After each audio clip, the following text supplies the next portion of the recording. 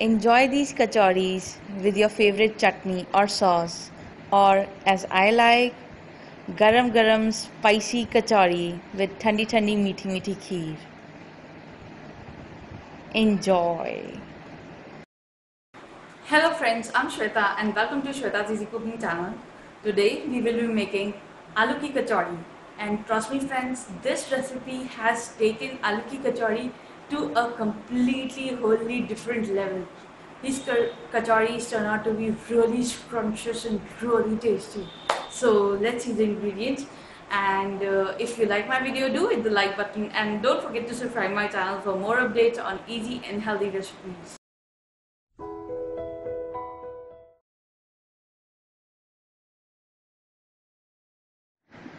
This is 1 cup of flour. Now I'll add 1 teaspoon of salt and mix them. Add a tablespoon of ghee and mix it. You can even use any vegetable oil of your choice. Now with the help of water, we will form a dough. Our dough should be softer than the puri dough but a little harder than the roti dough just like the kachori dough, our dough is ready. Now we will let it rest for 20 minutes. Heat up a pan and put some oil to it. Now I'll throw in some cumin seeds or jeera. Add hing or asafoetida to our cumin seeds.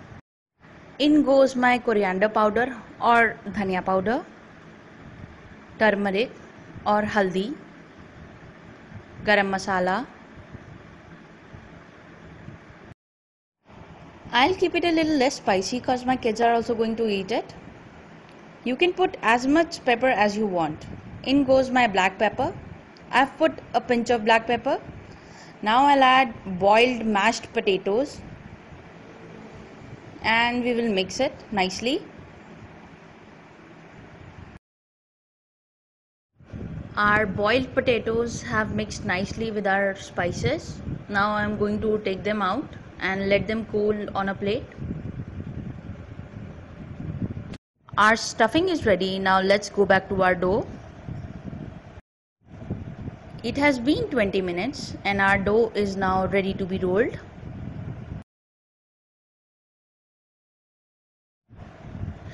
I have taken 2 tablespoons of ghee. Now I'll add 3 teaspoons of flour to it and make a paste. You can replace ghee with any vegetable oil you like. See the paste should be like this, it should be smooth. This should be the consistency. Now take a lemon sized ball of the dough and we will roll it. You can dust it with flour so that it doesn't stick on your rolling pin or your workstation. We have to roll it just like roti.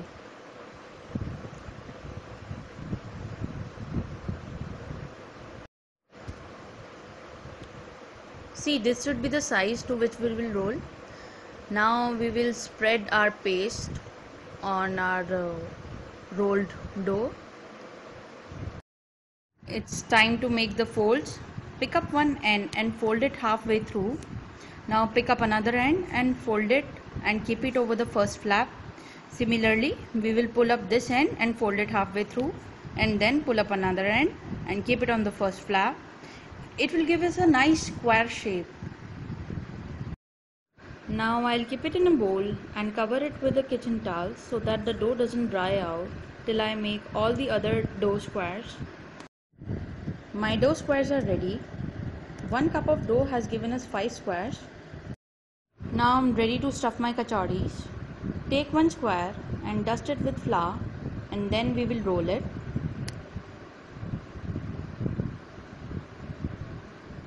See this should be the size. Now i will take some stuffing and keep it in the middle. Now pull up opposite ends and bring them halfway through and uh, press them together. Again we will pull up opposite ends and we will press them together too now we have formed a potli now we will seal all these edges so that the stuffing doesn't come out in our kadhai. Now I will pull up all these corners and bring them to the middle and then we will press them together. And we have a nice potli ready with us just like modaks we will repeat the procedure with this square too and we will make all our potlis just like I have explained earlier. We will keep the stuffing in the middle then pull up opposite corners and press them in the middle. Again pull up opposite corners and again press them in the middle then seal the edges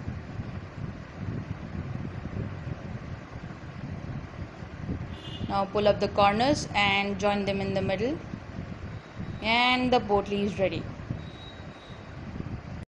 Friends, it's really worth it because all of this artistry gives us the world's best and the most crunchiest kachoris I've ever tasted in my life.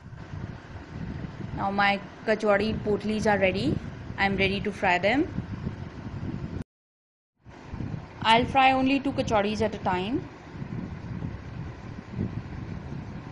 We will keep the flame at low to medium so that our kachoris turn out to be really crispy and golden and they get evenly cooked from the inside.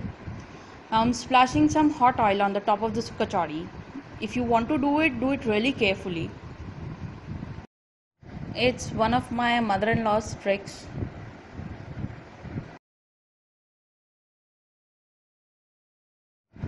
Now I'll turn them over. See how nice and golden they have turned out.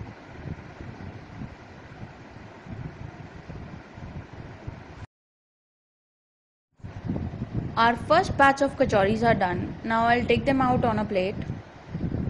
It took 6-7 minutes to fry these kachoris.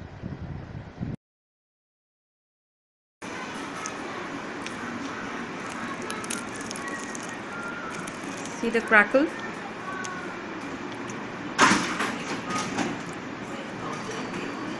Wow!